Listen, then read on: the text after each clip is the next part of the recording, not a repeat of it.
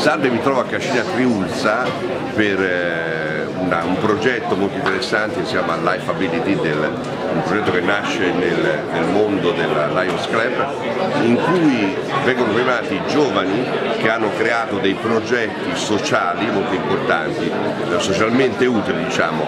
E questo è il secondo anno a cui partecipo come testimone di questo, di questo progetto e devo dire sono colpito dalla creatività, dalla, dalla, dalla passione che mettono questi giovani nel costruire dei progetti utili, socialmente utili.